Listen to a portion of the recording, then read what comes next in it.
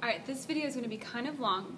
It is, again, for the final review, and this is going to go over the periodic table, bonding, acids, bases, and salts. So it's going to be long, but there's a lot of information. So the periodic table. This is the basic shape of the periodic table. The periodic table organizes all of the elements in a couple different ways. Most importantly, by increasing atomic number as it goes across.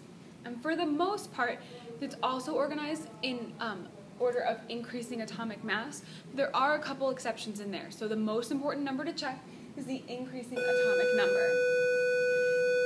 It also organizes it by an increasing number of energy levels as you go down the periodic table.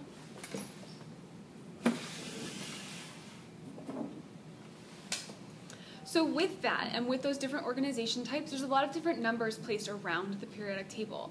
The first and foremost important ones are going to be the group numbers, and that's across the top of the periodic table. Now, in the A groups, group 1A through 8A, those A groups are going to tell you how many valence electrons the elements in those groups have, that column has. Okay? Elements in columns like that will have similar properties. There are also numbers on the side.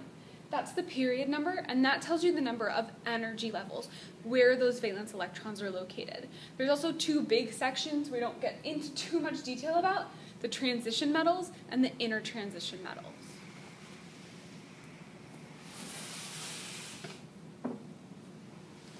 So what's the point of the periodic table? Why did we decide we needed to organize these elements anyways?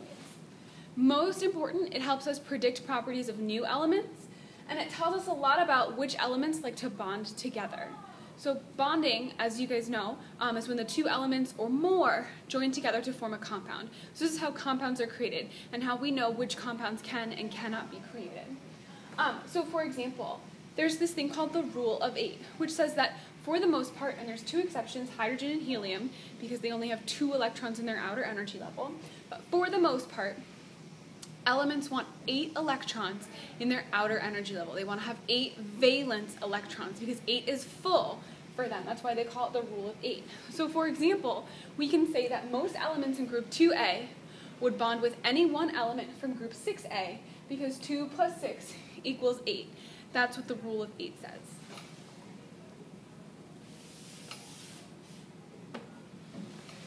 Now, of these bonds, there are two major types where the elements that are in that bond share the electrons, that's a covalent bond. The, one of the most famous covalent bonds out there is water, H2O. In this case, it's two hydrogen atoms and an oxygen atom, and they're all sharing the electrons. The electrons aren't just on one oxygen or just on one hydrogen, or even just on two, um, you know, one oxygen, one hydrogen, leaving the other one out. The, the electrons go around all of them. So that because they're sharing them, they're stuck together, and they're a covalent bond. The other type is when the elect, el, sorry, wow, when the elements in the bond actually gain or give up electrons. This is called an ionic bond. When they do that, they become charged. For example, if I have four negatives and four positives, I'm now currently evenly charged. But if I give up a negative, now I have more positives than negatives. I've become positively charged. That's what happens in ionic bonds.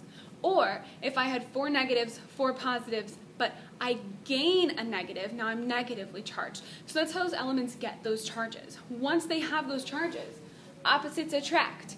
So if you have a positively charged and a negatively charged, they're going to stick together. They're going to be like buddies. For example, NaCl, sodium, salt, um, sorry, sodium chloride, salt.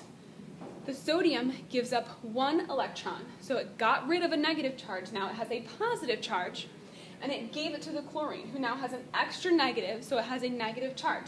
A charge of positive 1 and negative 1 are going to stick together, opposites attract, so that's how they form that ionic bond.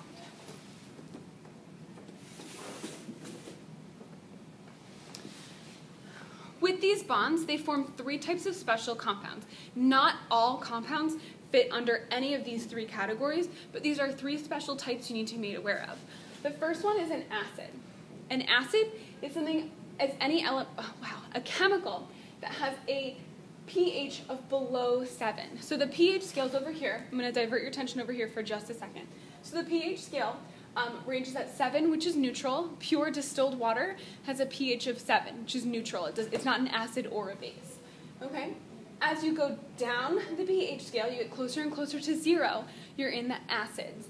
Now, each number, it might seem like, oh, it only goes up through 14. That must not be a very big difference. Between each of these numbers, the acid, the difference in the acidity, or the difference in the basis, the basicness, um, is 10 times. So, for example, the difference between 7 and 6 is 10 times. So an acid with a pH of 6 is 10 times more acidic than a pH of 7.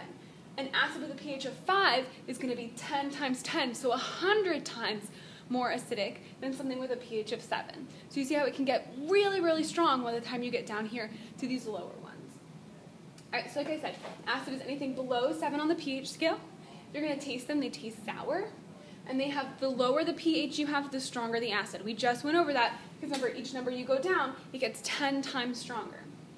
So bases are on the opposite end of the pH scale. As you go above 7, you're now a base. You're getting more and more basic. And the same happens. The difference between 7 and 8, it's 10 times more basic.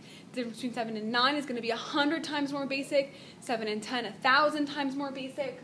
Um, so you can see that for each one, you add an extra 10 times. So again, it's above 7 on the pH scale. They'll feel slippery to the touch. A lot of soaps and cleaners are bases. And they have a higher pH at the, sorry, the higher the pH, the stronger the base. We just went over that. If you mix an acid and a base together, you get two things. You end up with water and a salt. So that's what a salt is. It's a byproduct of mixing an, mixing an acid and a base together. And those are some compounds that is bonding, and that was the periodic table.